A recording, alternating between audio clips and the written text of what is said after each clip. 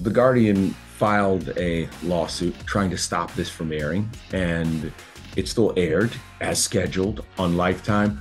Who is the driving force behind this guardianship, and why did they want to stop this documentary? That's a question we don't fully know because all of the court proceedings are completely, you know, um, kept dark and away from public view.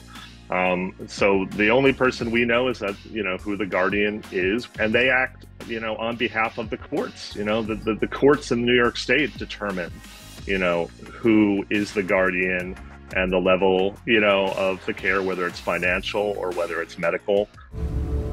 It's no secret that there have been random people around you getting money, getting paid, whatever the case may be, stealing money from me this is the reality of what the world famous Wendy Williams' life was under a guardianship in New York City. She was, for the most part, alone in her apartment without constant care. And you see the people that were around her, you know, and who all honestly had good hearts, have good hearts. And, I don't question that their intentions for Wendy, you know, uh, are, you know, positive but they were also very overwhelmed and confused by the situation that they were put into. Do you think that they were taking advantage of Wendy? Because let me just say this you say good hearts, but a person with a good heart would say, I've got to get you as much help as I can get you. I can't walk in your apartment and see a vodka bottle. I can't be out with you and let you drink. Do you think they have her best interests at heart? It's interesting that that's the reality of a guardianship, right? Like, you don't always have the information. And so this is the reality of a time span, you know, in which Wendy was under a guardian's care in New York. And this is the truth of what happened. And we know it's not easy for a lot of people to watch. But once we were in it, we felt like we were more scared about what would happen if we stopped filming than if we continued. Kevin interview, take one, marker. How do you feel about this documentary? Well, I've never been someone who's been on camera, so being in this has never been my thing. Um, but I feel like the whole idea of what this is supposed to be about is supposed to be about her getting better.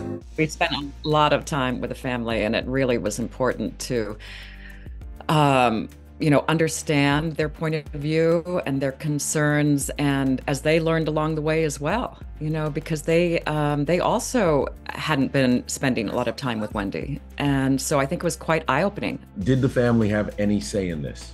Very much so. Uh, you know, it's interesting because we it was our understanding that we would start with the family, but mm-hmm. it took us a little time to make them comfortable. So it was several months into filming that we finally started having conversations with the family, and the family was then able to reveal their side of the story, which made it even more important for us to keep filming so that we could continue to explore all the questions that they were raising.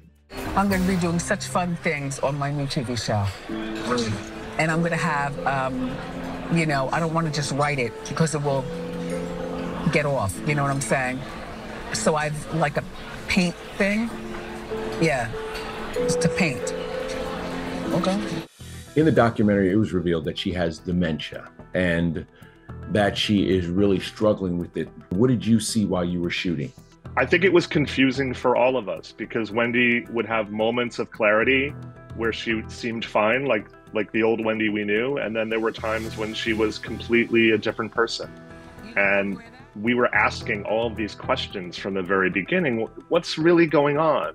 We saw this on TV, kind of her erosion of her memory and her struggles. I'm a little confused when you say, well, some days were good days. We weren't really sure what it was, whether it was drinking or dementia. You know, there were some good days and where she was, you know, all there. You know what it's like when someone's there. And then other days when um, she wasn't as clear. We discovered, you know, she was drinking. I, we were concerned she wasn't safe, to be honest. And um, and I think that's one of the reasons we stayed.